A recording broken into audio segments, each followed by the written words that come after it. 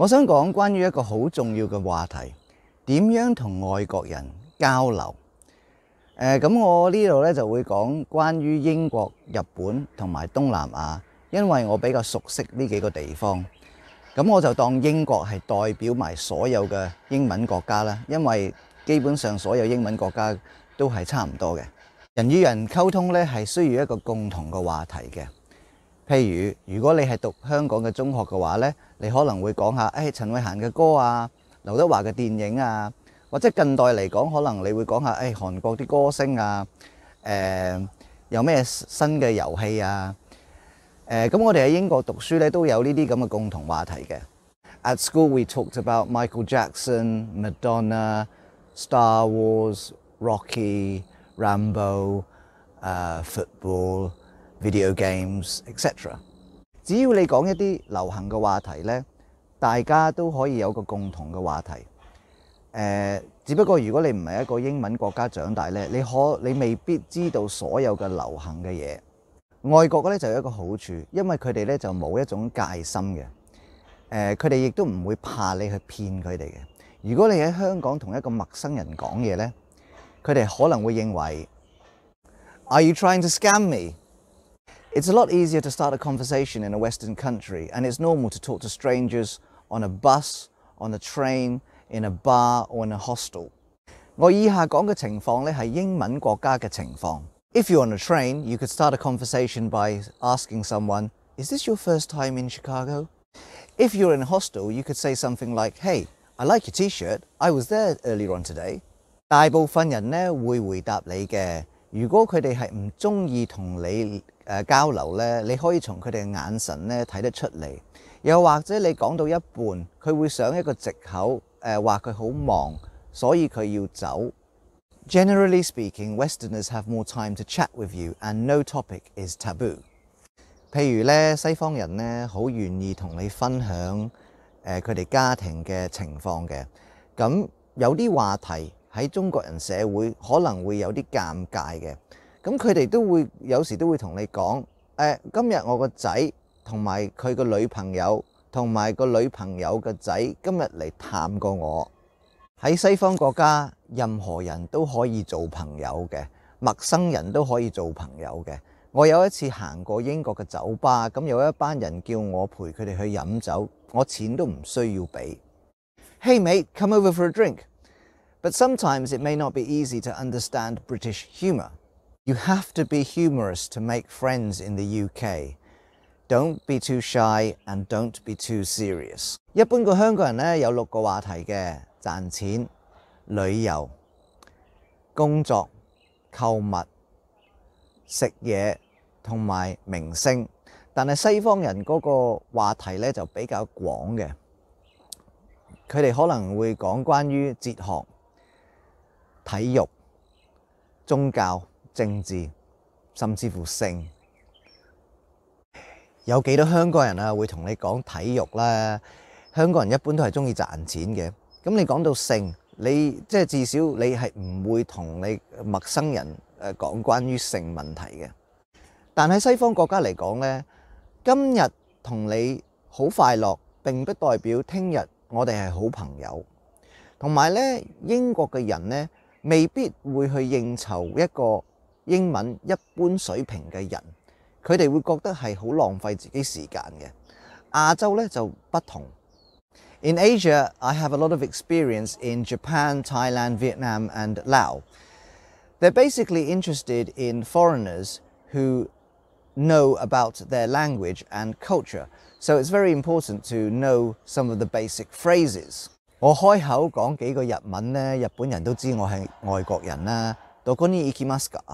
No matter how bad your Japanese is, the Japanese will appreciate that you're making an effort. It's the same across Asia. Over the years, I've had many Japanese friends. I go to stay in their house and they come over to stay in my house. 我日文程度咧就唔係非常好，但係日本人咧就好有耐心聽我講嘅。我覺得誒喺、呃、一個英文國家裏邊咧，佢哋未必 願意聽一個誒、英文水平一般嘅人講嘢。同埋咧，日本嗰啲女仔咧，亦都係好有膽量嘅。好多次都有日本嘅女仔嚟我屋企住嘅。誒，其實佢哋覺得係普通誒朋友嘅關係嚟嘅啫。我相信好多香港嘅女仔都未必做得到。日本、泰國同埋越南嘅朋友咧，可以維持長久一啲嘅。佢哋就唔系诶，佢哋就唔系今日快乐诶，然之后就完结呢一种嘅。诶，同埋佢哋嘅头脑咧系比中国人诶单纯好多嘅。You just need to demonstrate that you have an interest in their country and or you are learning their language. I have recently been meeting Vietnamese people online. I tell them that I've been to Vietnam many times and that I'm learning Vietnamese. And they're just curious about me. They want to know where I've been in Vietnam, how much Vietnamese I know, what I think about Vietnam. Maybe they've never seen a foreigner before, so they want to continue this friendship. I think it's the same across Southeast Asia. 如果你去大陆，你话你唔识讲中文，你只会识讲英文嘅，我我相信大陆人都会好热情对你嘅。Okay, so you come from Jiangxi province, and I've never been there before. Yeah, it's a beautiful place. 咁你认识日本人、泰国人同埋越南人嘅好处咧，就系佢哋嘅食物同埋娱乐咧，系跟香港差唔多。你亦都未必会喜欢西方国家嘅食物同埋娱乐。The Japanese love traveling, so if you talk to them about travel, they are more than willing to talk to you. 日本咧系一个岛嚟嘅，其实喺历史里边咧，佢哋都系脱离外边世界嘅。其实就算去到今日嚟讲，佢哋依然系好好奇外边世界嘅。Thais and Vietnamese are less affluent, but that means that they want to know about the outside world. Many Thais and Vietnamese have never been to Cambodia, even though Cambodia is right next to Thailand and Vietnam. If you can tell them about the outside world in their language, they are willing to listen to you. And I think that it's a lot easier to build long-term friendships in Asia. 讲你可能唔顺，但系越南同埋泰国咧都有中文嘅诶食咗饭未啊？咁通常佢哋会会用呢、这个呢句说话嚟诶、呃、开始同你沟通嘅。如果你去泰国咧，有两句说话咧系比较有用嘅。 第一句就係你食咗飯未？健康女人。第二句咧就係、你去咗邊度嚟啊？拜泥嘛。如果你去越南咧，有兩句説話咧係比較有用啲嘅。第一句就係、你食咗飯未？啱咁超，或者你可以問人哋，誒、哎、你而家做緊咩嘢啊？白凳男士嚇，咁你用呢兩句説話咧，通常咧佢哋都會聽得出你係外國人。咁於是乎佢可能都會好奇你點解會識講越南文。咁所以佢就會，如果佢有時間，佢都會同你誒、聊天嘅。日文咧係有你食咗飯未呢句説話嘅。Tabemashita，但係日本人咧係唔會用呢句説話去。誒同、人哋誒、呃、開始交流啊，佢唔會唔其實係好唔自然嘅。咁其實喺日本咧，無論我講乜嘢嘢都好啦，日本人亦都聽得出我係外國人。咁佢哋就會好好奇點解有個外國人識講日文。咁之後咧，佢哋就會好容易去接受你嘅。好多人咧認為咧，我喜歡喺東南亞住係因為我想慳錢。呢個只不過係其中一個理由。